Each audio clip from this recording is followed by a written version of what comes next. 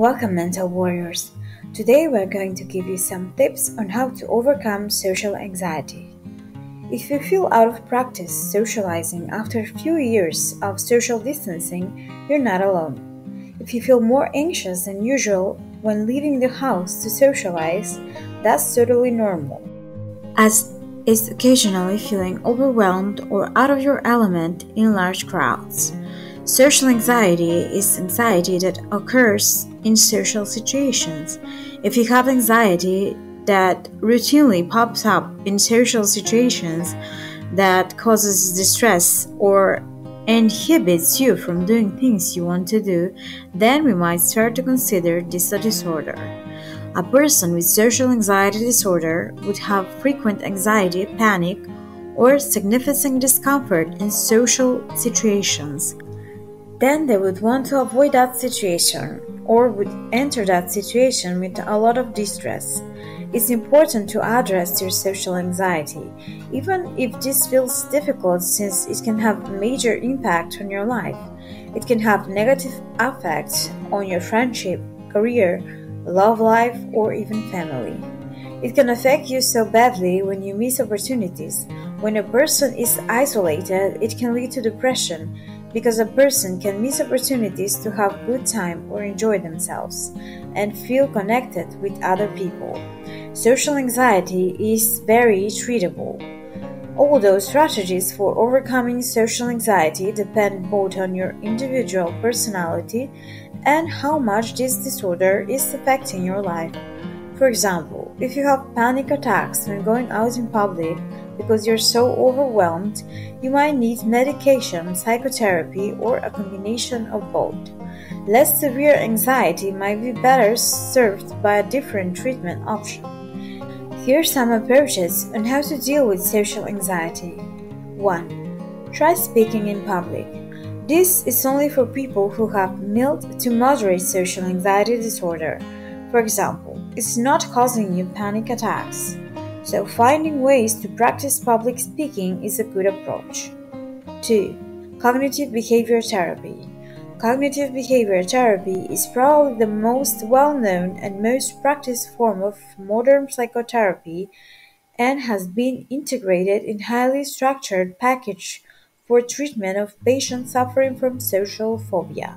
Among the different kinds of psychotherapy available, cognitive behavioral therapy, which involves making changes to the way you think and feel about a situation, which in turn can help you modify your behavior.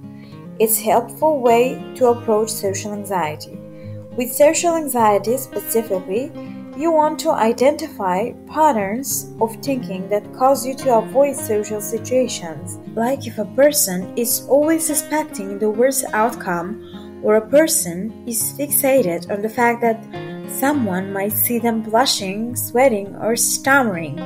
You want to help them learn to challenge those expectations and adopt more positive self talk rather than negative self talk.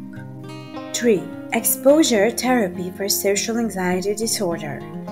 Exposure therapy for social anxiety disorder can help you overcome fears of specific social and performance situation. Although exposure training is normally conducted with the assistance of a therapist as part of cognitive behavior treatment program, it can also be incorporated into your daily life. For example, if you have a fear of large groups and you've been avoiding group activities, start by going out with friend one on one. Then work your way up, going out with small group of friends. Repeat as needed until you feel more comfortable before attempting to go to a restaurant or a bar, where there can be more people. You can also work on situational exposure with support of a therapist. Like cognitive behavior therapy, exposure therapy is a type of treatment a trained psychologist can provide. If you have social anxiety, you most likely face those types of situations with fear and drained or avoid them completely. This strategy can sustain your social anxiety in long term. 4. Help from your closest people.